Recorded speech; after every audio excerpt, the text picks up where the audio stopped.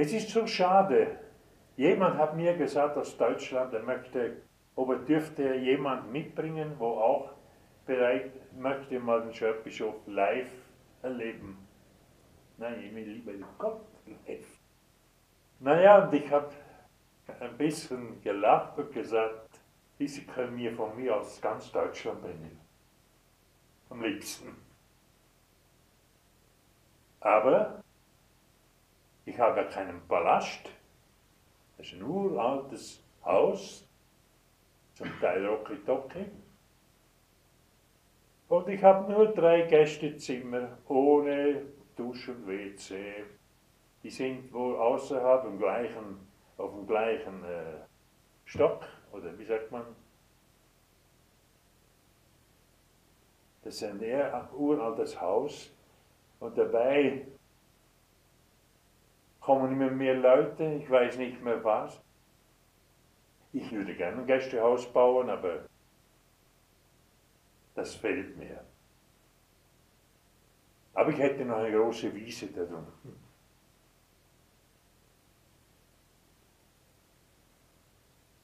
Bisher war, es kamen Leute, die blieben von sich aus drei, fünf, sechs Tage, das war immer gratis. Aber wir haben 20 Schwestern und das wird dann einfach doch zu viel. Für die Arbeit muss ich alles haben. Denn alles geben wir. Die, die, drei Menü im Tag sind auch gratis, Übernachten ist auch gratis. Vielleicht muss ich doch so weit mal gehen, weil ich lebe ja nur von freien Spenden. Uns sind in der Heiligen Messe nicht eingezogen, weil dieser verdammte Mammon hat nichts zu suchen bei Gott, äh, in der Kirche. Ablenkungen. Wir haben draußen einen Stock, da kann man die, wenn man zufrieden ist, was reingeben. Ihr seht, ich warte immer noch auf einen Lazarus. Nicht der Arme.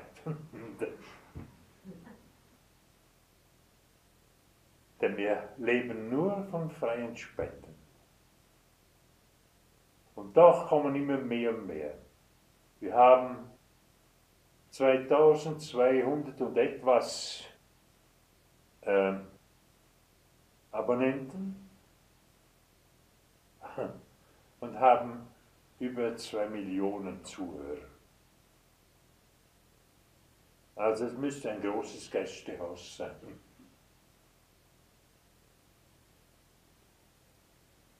Ich äh, freue mich natürlich für jeden, der mal kommt. Sicher, ich bin ich und kein anderer.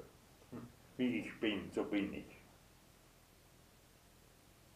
Ich bin nur, ob ich fromm bin, das weiß Gott allein. Ich weiß nur, dass ich für ihn dass ich ihn liebe. Und zwar absolut.